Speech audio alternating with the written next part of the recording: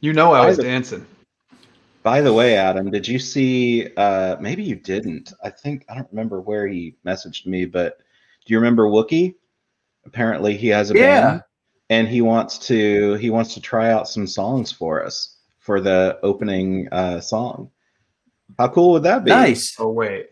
That would be cool. I don't think it's a band. I think he does. So, by the way, his name's Chris. We used to work with him.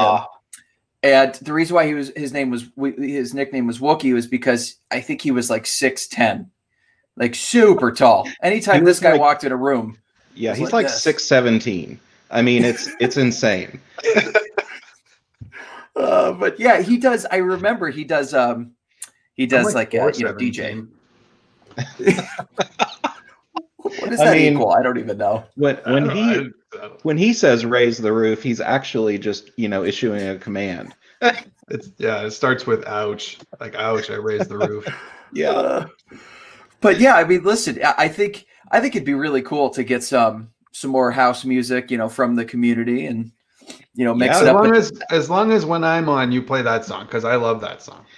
Yeah, I do too, and I told him that. So he's got a high bar to meet, I think. Um, but that would be really cool just to see, uh, see, you know, 'cause, I mean, we know him, so how cool would it be to have like something personalized? That would be pretty awesome. That'd be great. yeah, That'd be I'm great. I'm so in for that, and it's okay because that that "Here We Go" song just runs through my head day and night. Like I, I I know. We need some It's like- variety. It's this like good walkout music. Have, have you guys ever gone to a conference and done a talk where they ask you for the walkout music? I was just like, the first time that happened, I was like, what? And I was like, immigrant song. Totally. Oh. It was great. Everybody else had like the most aggressive track was like a Dave Matthews Band song. I was like, I feel like an idiot. Mine was I'm friends gonna in low own it. places, and they got that got rejected. So I had to like pick something different. But I was like, come on, friends in low places. No. I, I like that though. It reminds me of uh, you know uh, uh, kind of sticking with the office theme based on your background. Reminds me of like when Dwight went into before he went into a sales meeting, he listened to like heavy Metal. you know heavy Yeah. rock, heavy metal, and he's punching the seat. That's me before any type of talk. Although I'll, I'll say with containers from the couch, I I don't do that as much. You're pretty chill. You're pretty chill. But generally, before yeah, you gotta have some good pump up music. You know.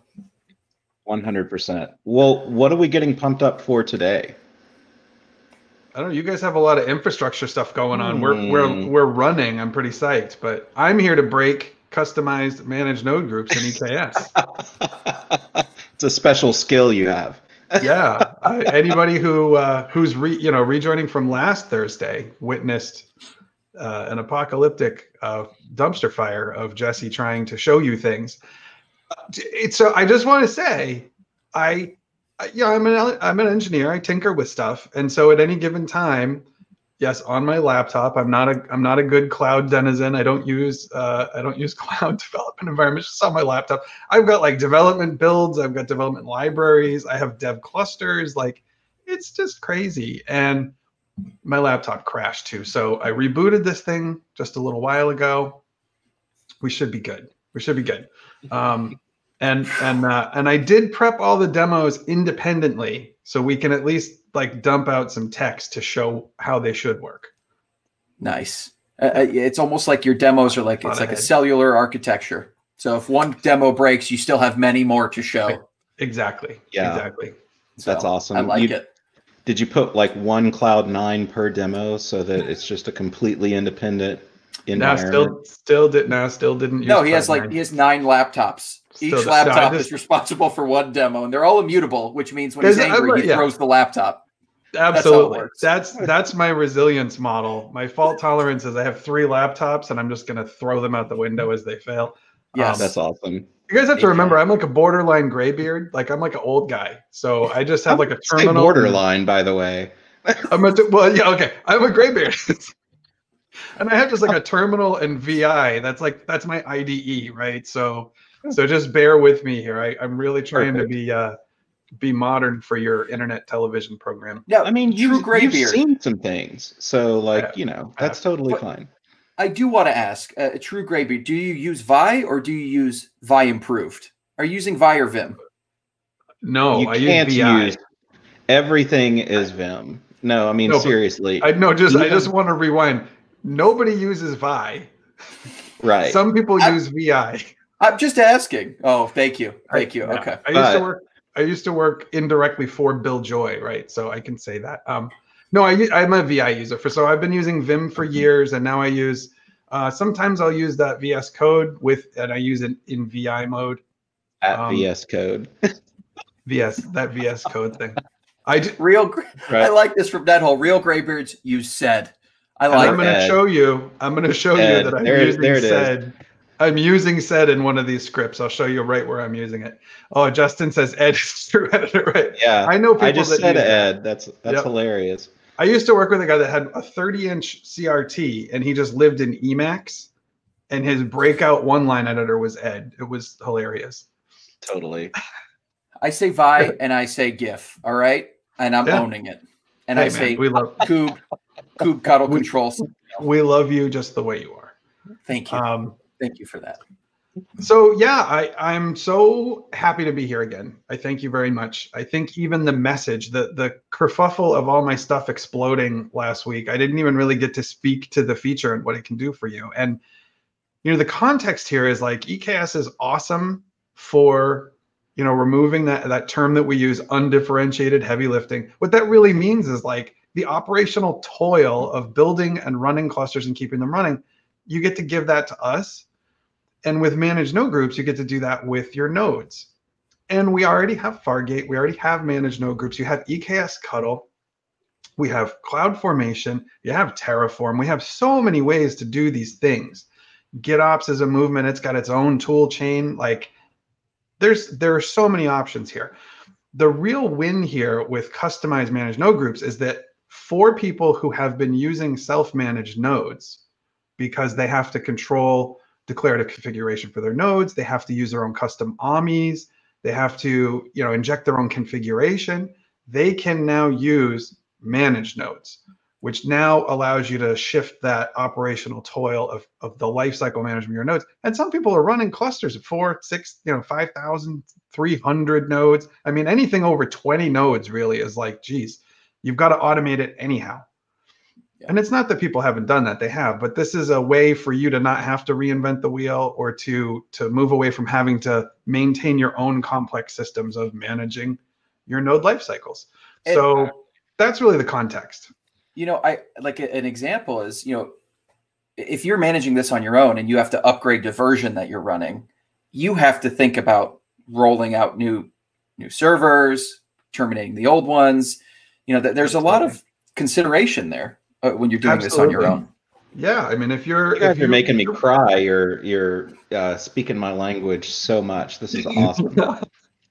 yeah so if you if you have say a requirement that you need uh, you know around compliance you have to for example you have to stig harden an image you, that's just a. I mean you can't do that without launch templates with managed node groups so you've been using self-managed nodes and on top of that you have an os maybe your you know maybe your org is aligned on on a red hat or debian or or maybe you build your own custom uh, images right with with- who, who knows? Maybe it's an edge case and you're using build root to, to create your node images. I mean it could be anything. And now as long as that ami can boot an instance which can run the EKS bootstrap or what you put in its place you can use it with a managed node group which is which is really cool. And you know with using launch templates in ec2 which is a you know a very mature feature of you know how you can define an ASG, and that and that's really what a managed node group is. Is under the covers, it's an EC2 autoscaling group.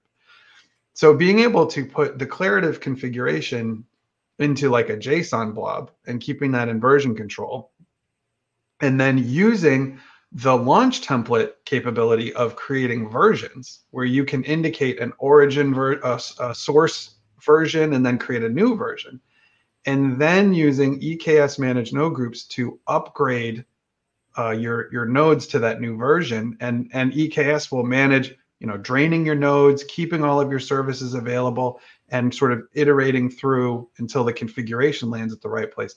That's a pretty powerful thing. Where you know even if you're saying, well, we're okay with self-managed nodes, kick the tires on this because you might find it's like you don't have to manage that all that other stuff that you're doing, right?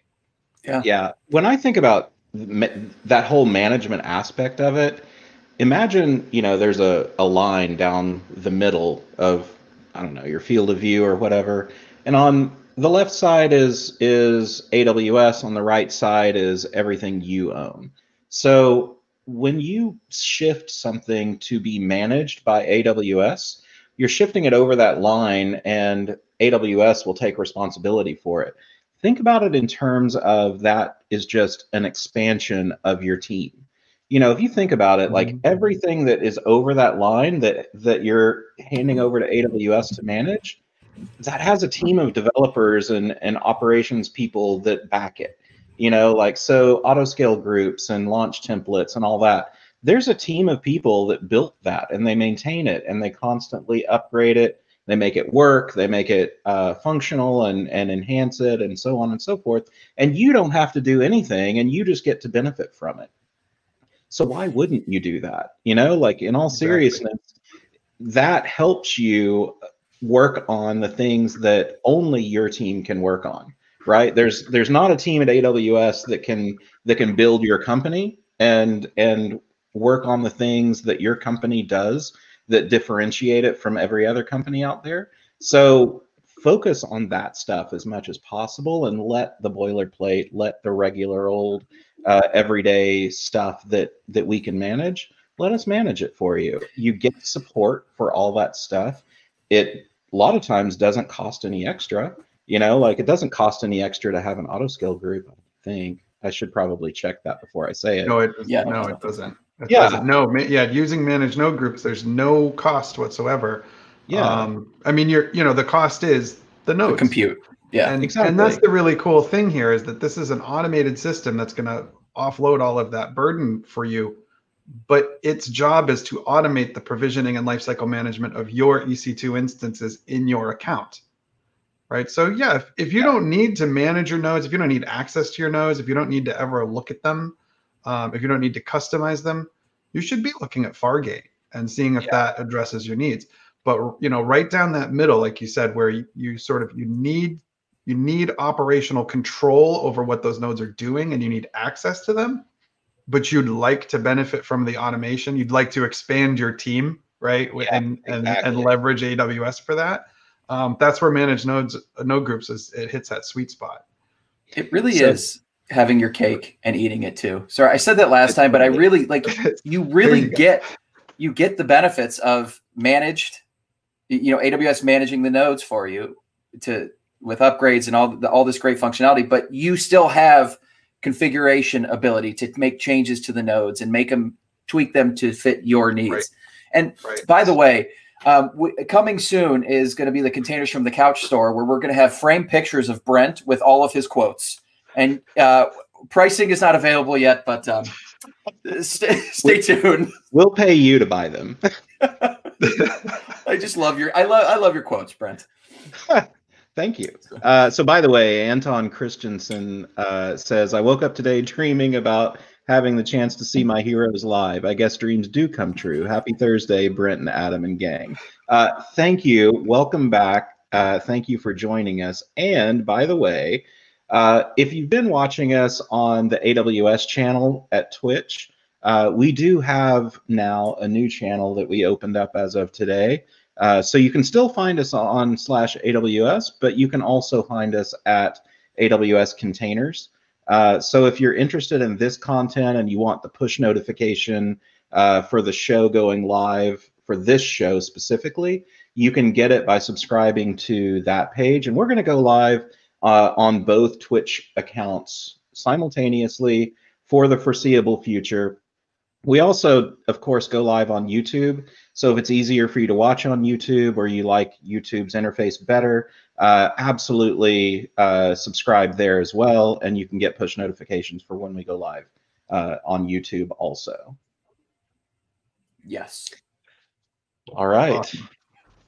Should So we we get can- Get started. Well, yeah, let me jump into some of these uh, showing off type demos. Um, and then, you know, what I decided to do is actually do this live. I, I confused myself last time considerably trying to pre bake things in different clusters. And uh, no, no. I mean, it's going to break on its own anyway. So it's and that that is no fault of EKS. Of course, that would be my fault. Um, this thing's rock solid. But uh, I did want to just kind of give a little preamble and say I'm going to build these as we go, and I have faith that we can get through them all. Um, but we're going to be able to talk while I'm, uh, you know, while things are are kind of cooking. So, so let's first look at just an example that, that we did look at, um, you know, last week. Um, we have a really this is a launch template, right? And I think this is not going to be new to anybody. Can you guys see that? Okay. The I think yep. could, I'm guessing they're gonna they're gonna ask for it to be a little bigger.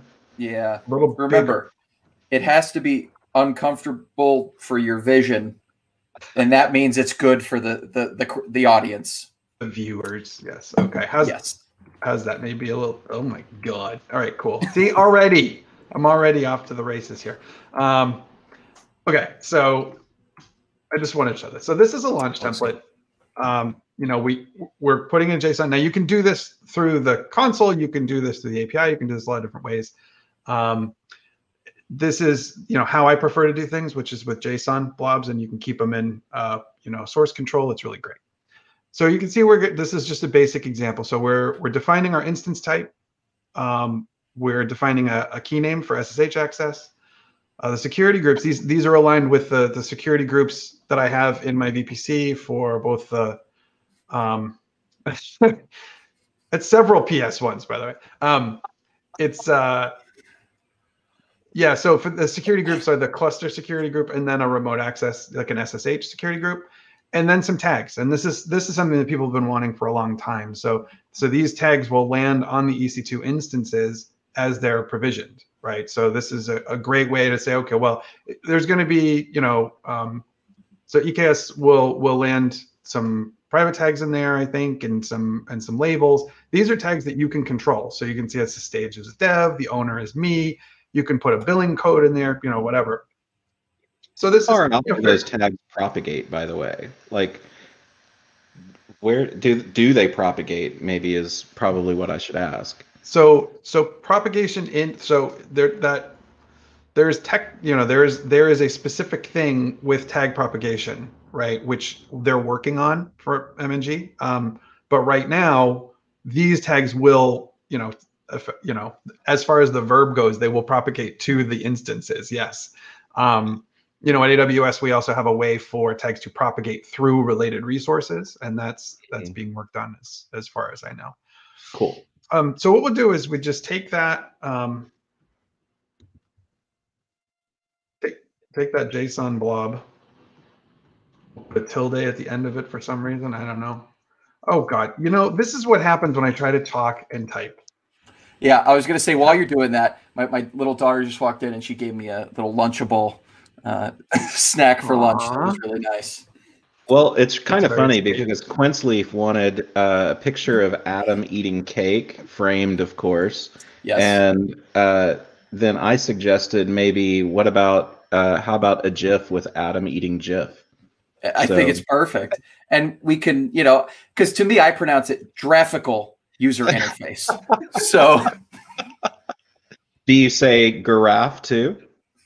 I do. Actually, I do. Okay. All right, I get it. I don't think uh, I, I, I just I'll give in. I'm gonna eat my lunch. All right, now. so let me see here. What did I do? Why is this not tab completing? I don't I don't understand. this is awesome. All right, so every Thursday from now on, Jesse will be on the show. Yes. Maybe I maybe I closed. I mean, I have these little helpers. I don't know. Yeah, did you check GitHub? Maybe that's it's somewhere in, in, in GitHub. Thank you, Justin. I feel like Justin's on my side. Just don't respond, even if you're not. I'm just gonna take the win. Justin Jerrison, you mean?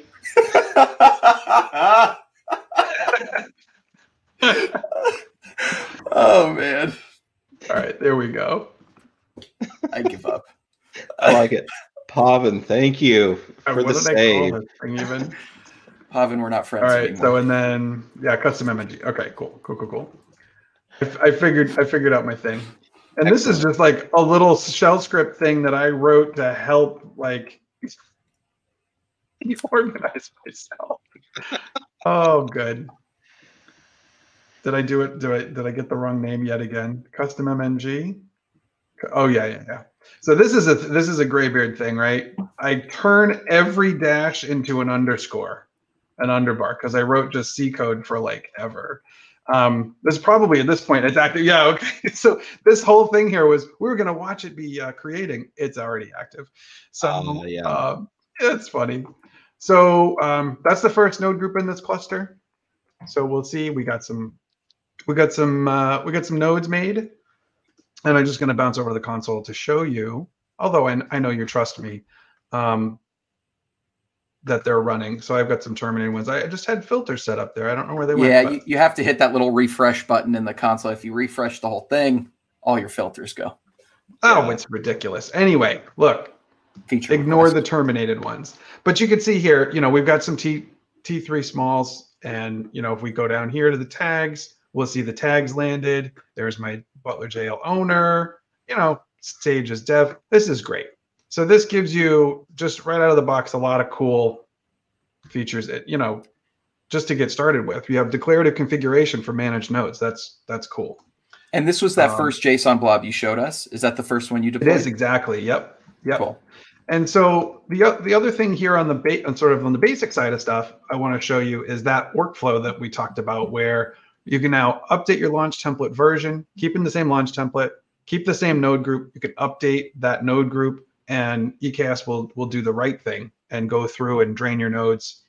So what we're going to do here uh, is we're going to say we've got the instance type that we want. The tags are great. Security groups are right. The the nodes came up. Join the they join the cluster, we're happy.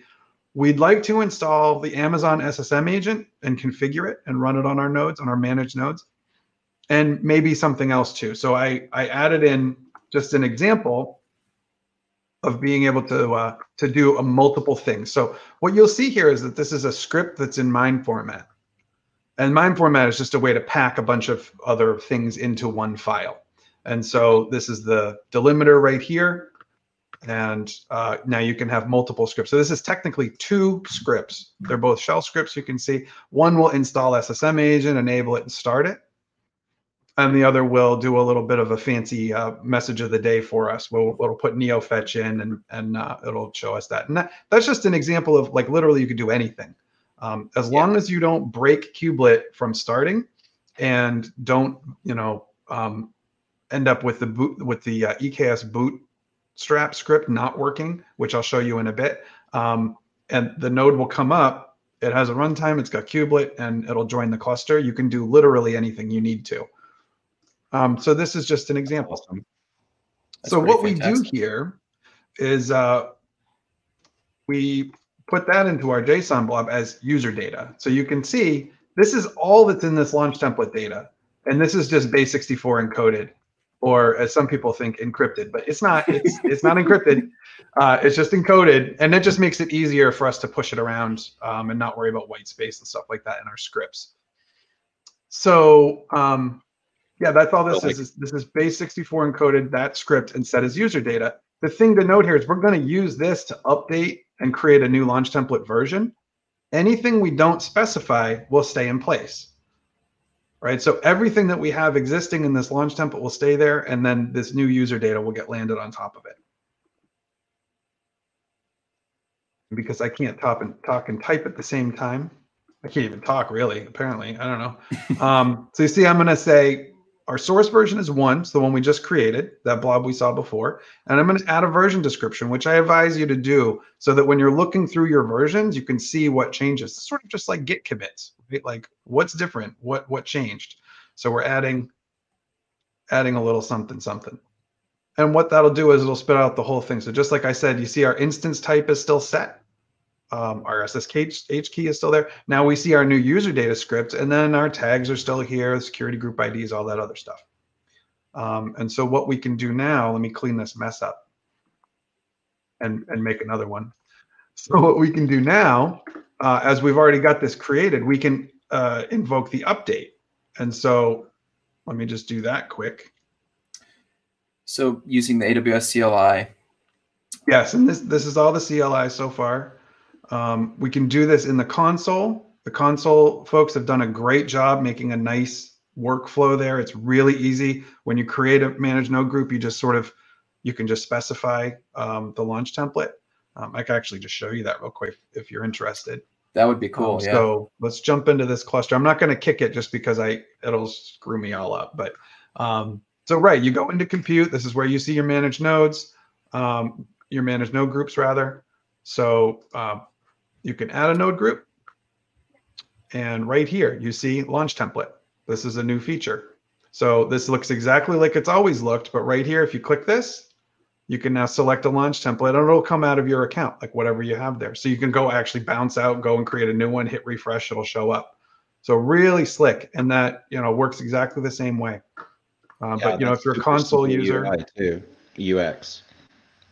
hmm so if And, you're yeah, uh, if you're a console user, that's that's there for you. And I just wanted to ask so I saw it was in a status of updating.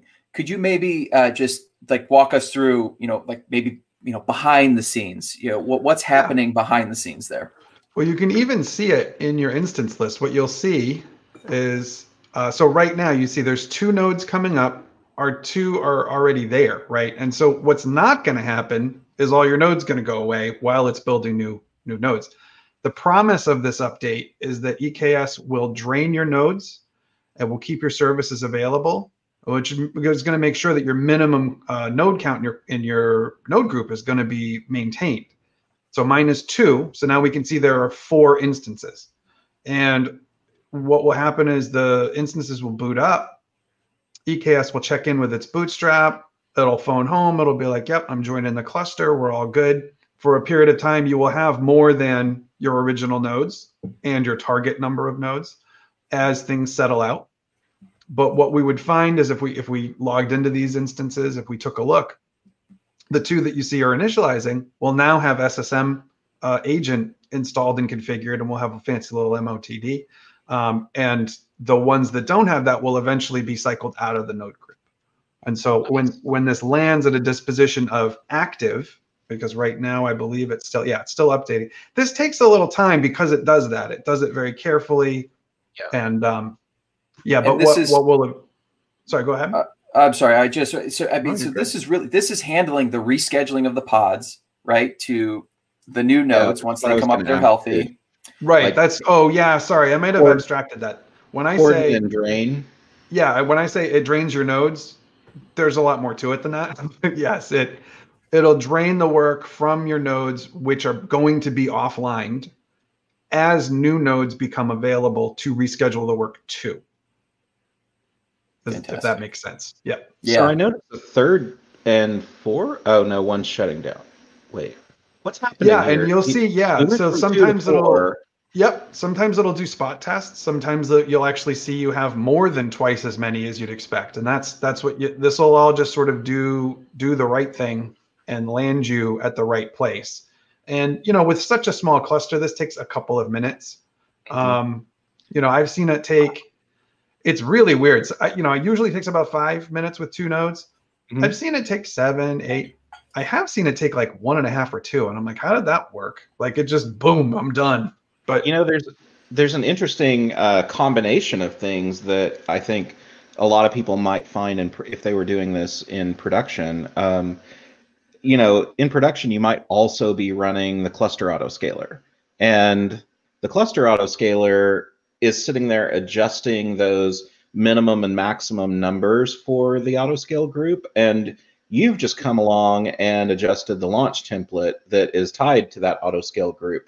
So those two things are actually perfectly fine working together. And you don't like this time around with low traffic, you have two nodes. But next time around, if this was a production cluster, you might have 20 nodes. And the Mhm. the actions that you go through are exactly the same. And it just it just works its way through the whole cluster, whatever size it happens Right. to be. And it'll continue to maintain that size. I I just kind of put that together in my head. Yeah. But that's really awesome how like all these things can work together and solve, you know, all of those problems for you. Yeah, that's that's how we build features, and you know, not only in EKS but in everything, right? The everything in AWS sort of works backwards from your experience as a customer. Um, so what you know, part of that is saying, well, how is this going to interact with things I'm already using? How what what can we take advantage of that already exists? How do we not reinvent the wheel and make this a simpler, less complex solution? So yeah, all of this stuff is designed to work together um, with you know without surprise. That's another tenet I think. We're just when you roll something new out, you don't want surprises. Um, so I think. Yeah. yeah, we can let that run. I mean, it's going to take a little while, like I said. Sometimes the, the other thing about this is it maps exactly to that workflow that you were talking about, Adam. Where if you're maintaining your own AMIs, um, which we'll see in a second, you, you all you specify custom AMIs through the launch templates as well. So this workflow that we're seeing right now is exactly how you know, there's a new CVE out. You're responsible for, you know, kind of building a new version of your AMI. Um, you push that through your pipeline. You update your launch template to point to the new AMI, and you just say, okay, EKS, make make it happen, right? Do do what you need to do, rather than having to do that part yourself. So it it lends itself to more automation. And again, people have automated these solutions. It just this just means you don't have to maintain your own automation anymore. Yeah, that's the key. That's the key. And it's it's nice someone out there deleted, you know, some really great code they wrote and now that's one less thing that they have to maintain. That's right. That's right. I think um, you know, speaking speaking to my graybeard past as an OS engineer, we always had this so you have bragging rights and people talk about lines of code, you know, from way back where you would be judged on the lines of code you write, which is just preposterous. Our bragging rights were as uh, around removing code. Can you remove yeah. code? Can you can you push a change? So my friend Mike Gertz, I think, won this battle uh, over years, mind you. Uh, our our good friend Peter Amishian was was sort of at the front runner where he had written whole drivers, he'd worked on entire subsystems, he worked on the streams module in the in the in the uh, Unix uh, operating system that we worked on, which is Solaris, and uh, just you know tens of the hundreds of thousands of lines of code. I wrote drivers, so every time I did a project, it was 40, 50,000 lines of code, and I was just hopelessly behind, you know but uh, Mike actually did so much refactoring that the last push he did before he left for a new job actually brought him close to zero. And that was always a goal. Is like, can you can you remove code? So this is this is a freebie for you, right? If you have yeah. you know three thousand lines of bash and duct tape, right? You can remove that code. You don't have to worry about it. Exactly. I think is always a win. Amen. Right. So I don't know that that could be done. It, we'll just let it keep running. I think you get the idea here, and we can we can check back in with that. But we can move on to the next one because, of course, we can create multiple managed node groups and delete them and work with them independently. Um, so I do I want to make sure we don't run out of time. So I'm going to kick this one, then we'll go back and check in on that one. Okay. So this is exactly the same workflow where we have a um, a script, and this script actually, um, if you can see it, it's a little big because we made the font so big. I spent so much time trying to make sure I could fit it on one screen. I was not thinking. Um, so here we see our MIME format. Here's our shell script, and we're going to go through and we're actually going to decide we want to use containerd as the runtime rather than Docker on our nice. on our EKS managed nodes. So this script, all this does is, you know, this is a real sysadmin type script. It will make sure the containerd is in place. It'll configure it we configure CRI. Now, if anybody's um, not familiar with this, so Kubernetes has a runtime interface, which is CRI or CRI, and that allows you to use multiple different types of runtimes, uh, where it's systemd, containerd, CRI-O. So containerd itself actually has an in-memory CRI plugin now. So all you have to do is have containerd running and in place, and it will it will fulfill its role as a, a CRI runtime. So we just have to set up a little config for that. And then uh, we put the containerd config in place. And then we do a little bit of massaging with the systemd um, fragments that make up the containerd, I mean, uh, the kubelet service to actually set containerd as the runtime. Um, and you don't have to grok all this. If anybody's really interested in this, I can put it on a, a, a GitHub or something. I'll put it in a tweet. How's that? Um, and yeah. look, I'm using sed, you guys. See? Sed. Nice. So because the default, um, you know, this is all working with the EKS optimized Amazon Linux 2 AMI that EKS uses by default. This is not a custom AMI, right? This is all just configuration in that user data. So we actually have to modify the existing config as it is, which is using Docker as a runtime. So we're going uh, using sed and and uh, swapping some things out in place, and then um, we go through and actually make sure the config's in place. Then we kill off kubelet because the EKS bootstrap wants to start that. So I'm just going to say we're going to stop kubelet and we're going to move on our merry way. And when EKS comes along to turn that into a managed node, it'll kick the bootstrap, which will start kubelet for us. Nice. So let's take a look at our config. Again, we just have a pretty basic. Now we're not going to update. This is a brand new node group. So again, it's very basic. We just have our instance type, uh, security groups, and then blob. That's our user data script, which is base64 encoded, and some tags. And I added a runtime tag too, right? So now we can say, oh, well, what what of our our nodes are running containerd as a runtime? And this isn't a requirement of switching to the runtime. That's just notes for That's us, just, right? yeah, tags tags just a really Yeah. great place to store, you know, things that relate to billing data, relate to department use or whatever, and you can use it for anything. So that's just a way to descriptively say, um, you know, these nodes are running containerd, not required at all. Yeah. So same and it just- workflow as before. you know, seeing that containerd flag and just thinking like if you were you wanted to test migrating to containerd, you know, like this is a great way you spin up an extra node group. You slowly start testing your pods in this new node group, and as they work, you just switch your labels, and that's how you've tested, uh, you know, this new functionality. That's just cool. I, I like this. Exactly. Nice demo. Super cool. Super cool. So did you get that one going? Yep, that's kicked off. Um, so we can I wanted to address a couple of the, a couple of the questions and comments in chat. So first, your mention of Bash and duct tape is a hit because uh, someone wants to now get a uh, Quince Leaf wants to get a, a biker style tattoo of that, and uh, Nethole thinks that would be a good band name. So uh, totally, uh, Amandeep. Be- Oh, I'm sorry. I totally started down that road and couldn't finish it. Um, my apologies. But uh, one one actual question: Do I have to worry about IP address contention during this update for large clusters if it's updating in parallel? And the answer is sort of, um, but maybe not. So there's a couple of strategies you can employ when it comes to IP address uh, contention for EKS. First, um, if you own the VPC, then obviously, and especially if you built it with eksctl, then I think that by default builds a slash 16. So you should be good when it comes to IP address contention. But there are cases, especially in large enterprises, where you might have like a direct connect to a data center um, where you are you are sharing an IP space and you have maybe it's a slash 19 or something much smaller uh, allocated to the VPC. In that circumstance, if you are allocating those, uh, you know, IP addresses that are owned by, you know, your data center or whatever, shared with your data center, that in that case, yeah, you might you might run into a problem. So um, there is a strategy where you can have a second IP range for the VPC, and you can have all of your nodes come up with the primary IP range, but all the pods come up with the secondary IP range.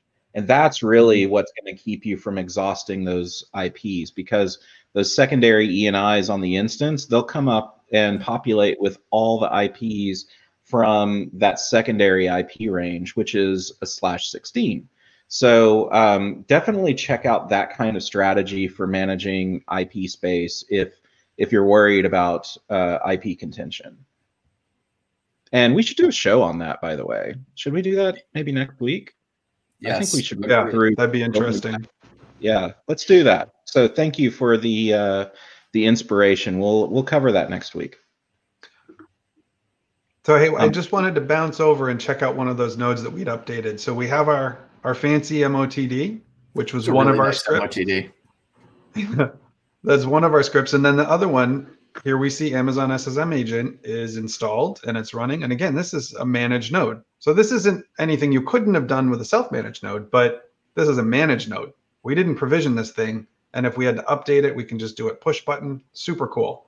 Um, and so that's just an example of really anything. This could be uh, any software that you want to install, configure. You can put kernel tunings in place. You could look at sysdig and Falco and configure all of that and have it just in your managed nodes. It's it's super cool. Um, let's get out of that one and we'll see how our containerd managed node group's doing. Yep, it's active. Sorry for the Python dumps. That's just me control seeing out of the, the CLI. So um, yeah, let's just, the quick way to do this, right, is we'll just describe, describe our nodes and we'll grep out the runtime. But I can't even, I can't even type one sentence while I'm talking. Jeez. All right.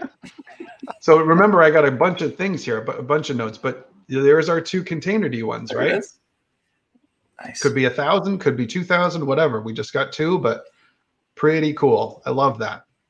Um, you know, speaking of you know, shell scripts and duct tape. I mean, that's that's sort of how I do most of my work, right? So anytime I can take my shell scripts and put them in source control and put them into some sort of declarative configuration for things I actually depend on is just a winner. You know, so this was me hacking on this for about an hour or something. I figured out how to get this going now it's you know now it's sort of in a place where it's considered the single source of truth for my configuration for that node group that's pretty powerful That's awesome. i like it Yeah. Shell it. scripts and duct tape. yeah oh I we're didn't- making shirts we're making shirts i'm doing stickers this is a whole thing i should trademark that i guess Yeah, Yeah. you better hurry. You should. yeah That's right. Okay, so what were we doing? Okay, so we got the containerd, we got the other thing going, we're cool. Now let's go for the big guns and say, you know what? We want to configure things, but we can't configure the distro we're running. We want to configure things, but we can't strip down everything on the root file system like we want in a configuration script, right? So this is where custom AMIs come into play. Uh, and I got a few demos to look at here. We can kick them all off and, and just take a look. I know um, I think we had one of the regular viewers last week who was really interested in this and security. So I I have three things just I'll tell you right now in case my laptop just catches on fire and I disappear because this is going so great. Um, one, we're going to use eksctl. We're going to bring uh, eksctl to the party, and we're going to create a managed node group which actually uses RHEL 7. Then we're going to go back to the CLI. We're going to create a managed node group with a custom AMI that is RHEL 7 and STIG hardened. And then we're going to go for the for the piece to resistance. I don't know, whatever the heck the best thing is, or the icing on the cherry cake. I don't know how this stuff goes. Bottlerocket. Do you eat food? Like, That seemed facetious, I- but I literally just did trip on my own words. I have no idea. icing cherry is on the of the cherry cake. Chrome He's ring. literally- I don't know. He's literally de la a creme. chef, And, creme de la creme. Quinn, Quinn Sleep He's says like- creme de la creme. Uh, creme But I I'm gotta going think- with it. Jesse, weren't you a chef in your time? Like now, I'm imagining you I was a making cake, you saucier. put cherries on top, and then you put. I was a icing saucier. I never got into that. Pa- I, yeah, no, no pastry All right. chefing for me. I'm sorry, that stuff is too advanced. Okay. I was all a right, saucier. Yeah, I was the guy in the back. I was the guy in the back of the room in Ratatouille, just stirring the pot. That was me. Got it. Okay. Yeah. I love Ratatouille. That's such a good movie. Great movie. All right, Wow. so Twinleaf was a pastry chef. Nice. Oh my gosh! Holy smokes! All right, so I was front, I was out front and on the line, and you were in the pastry. So we probably had cocktails together. That's that's really the only way I ever interacted with the pastry chefs. Is they made really nice boat drinks at the end of their shifts, right before I was. Well, Boat right drinks? before I went to work, and boat drinks. You know what boat drinks are? Drinks that you drink on a boat? Well, yes, but those are always nice and fancy, right? So boat drinks, that's always a, Oh. that's a good thing. Boat drinks. I think it's from uh, 10 Things to Do in it. Denver When You're Dead, that Andy Garcia movie. Okay. Remember that one? That was their goal, boat drinks. No. It's really good. Anyway, I'm really, really That doing great today. Continues like- to make fun of you. He he laughs and says he had air conditioning. Yeah, correct. I had uh, a lot of hot air in my face. okay, so let's kick one of these off while we keep talking about how Gen X I am. Um, okay, so same way, uh, we're going to specify some user data and we're going to specify uh, other things in the launch template.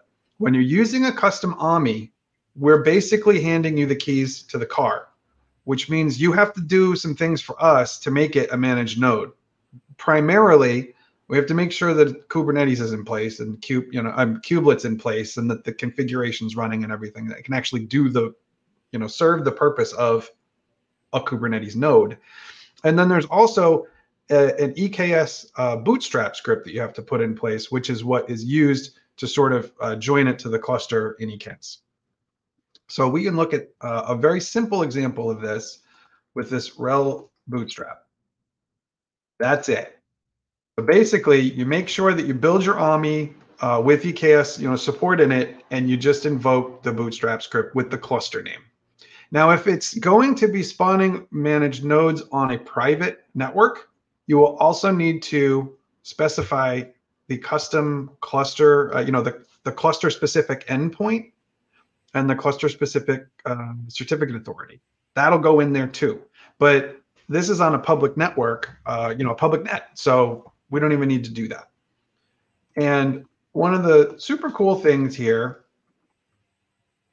as I'd mentioned last week, and I do think I got this out, is that eksctl fully supports the launch template support in managed node groups now, which means that you don't even actually have to put your bootstrap into a launch template or even define a launch template. The way that they've implemented this is they will create a launch template for you if you don't specify one. Now, you can have a managed node group. Um, there is a configuration element for a, a launch template ID and the version. But this is super slick because if you're already using eksctl, Heck this yeah. is already your workflow. This, yeah. You don't do anything different under the covers, eksctl will go create a launch template for you and use it, which is pretty neat. And so you can see there just, we have the Bootstrap script. I, I just want to say EKS CUDL. I'm always going to just repeat how the person before me says it. Um, EKS CUDL is Control. the amount of of oh. heavy heavy lifting that it does on your behalf is really nice. So you know this is just one example where it'll create the um, the launch configuration. It does all these things for you. Same with like if you wanted to set up a service account, it creates the OIDC provider. There's so much more that gets done behind the scenes. And just, I just wanted to point that out. Just one of the really nice, one of the reasons to use eksctl is to, so you can get rid of all that boilerplate and really just define what you want and let EKS CUDL control do it for you. Yep. So what this is doing right now, if you're not familiar with EKS CUDL, what uh, CUDL, CUDL, CUDL, CUDL, CUDL control CTL. So if you're not familiar with EKS CUDL, what it's doing right now is it's creating CloudFormation stacks and kicking that the role and responsibility of making sure that that state is arrived at uh, to CloudFormation, which is awesome because that, that means you can effectively kick off a bunch of things out of band and you can just trust them to get done. And when you're right. creating clusters, you're creating managed node groups, you're doing updates, there's a lot of state involved, and CloudFormation will manage all of it for you. Yeah. So NetHole has a question. Uh, thoughts on including the files in the image versus retrieving them from S3? Um, he's largely been using standard images instead of custom built to keep from getting harassed by compliance folks about patches.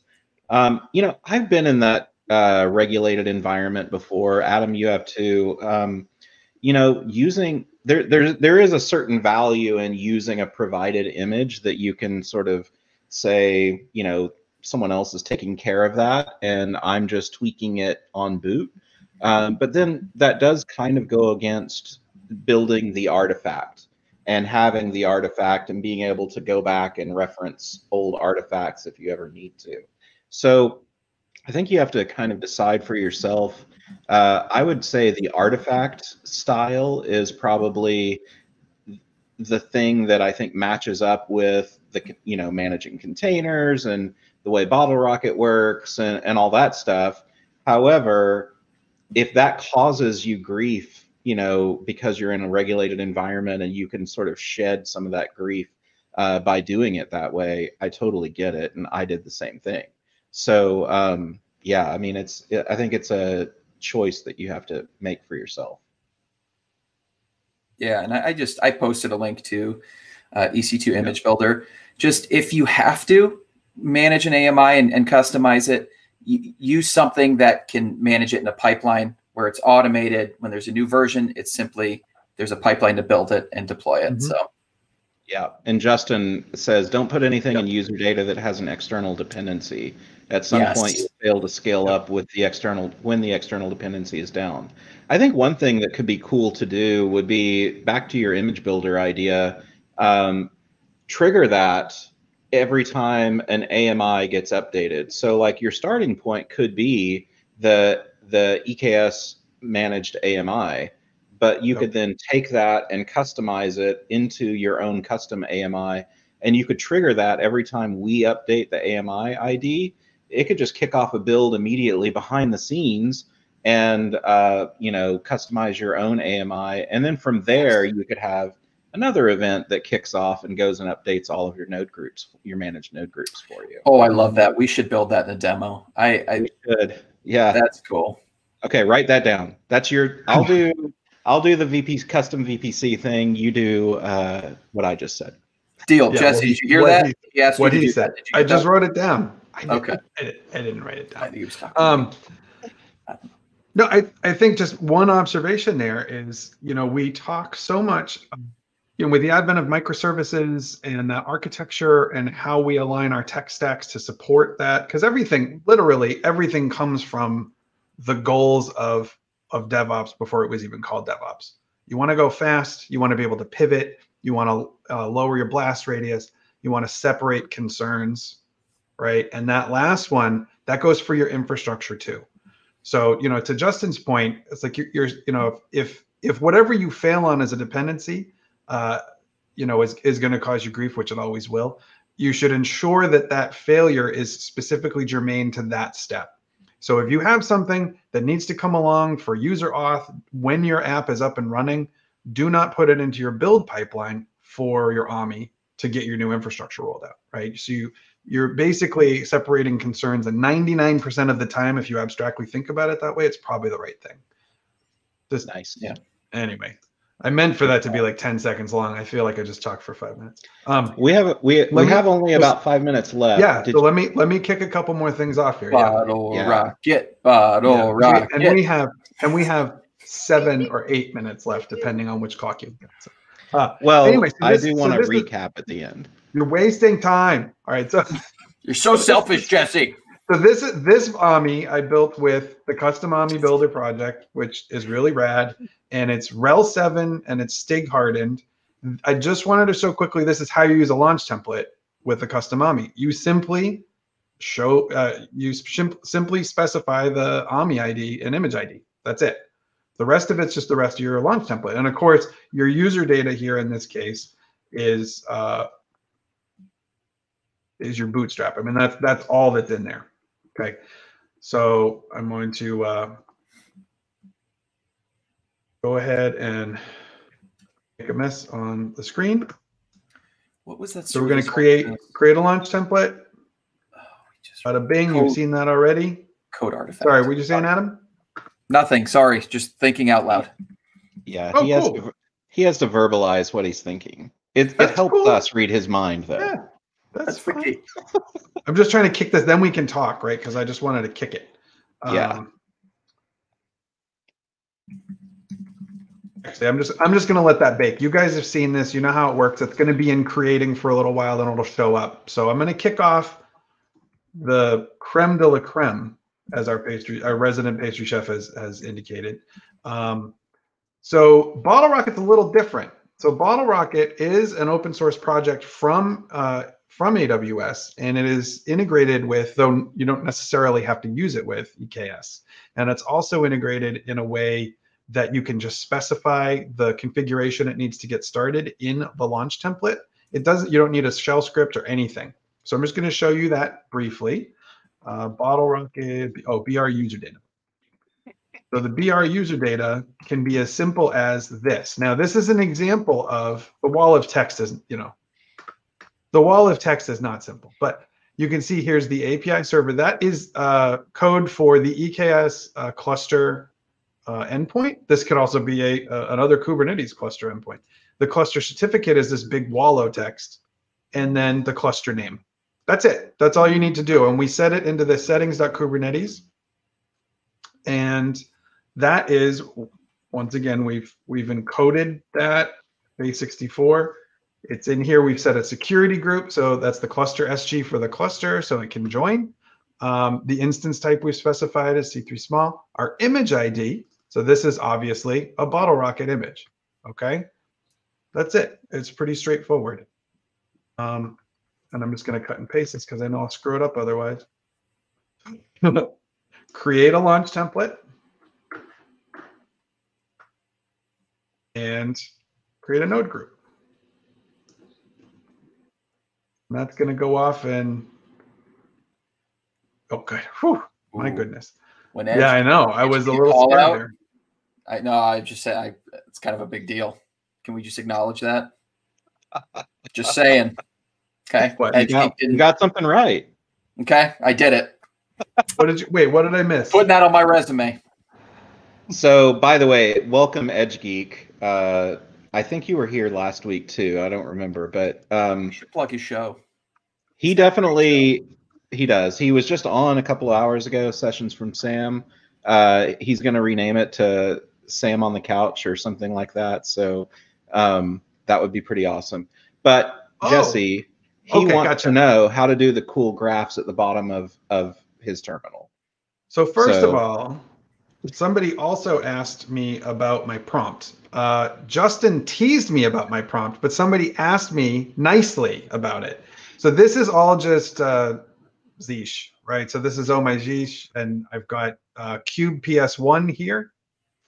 This is uh, just a little AW. Yeah, exactly. I use Oh My Zsh, Zsh, which Justin himself will say is sluggish and slow and really you should just use ed as your text editor and and configure the shell in memory.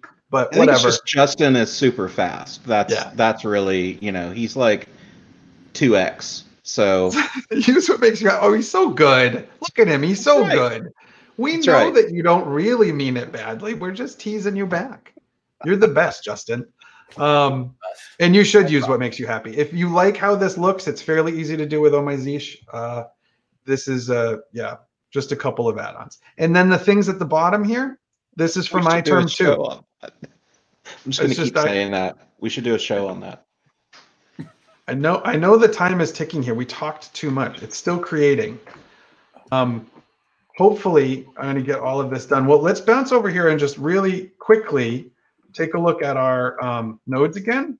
And this time we'll look at our OS. Again, these are all managed nodes running in Amazon EKS.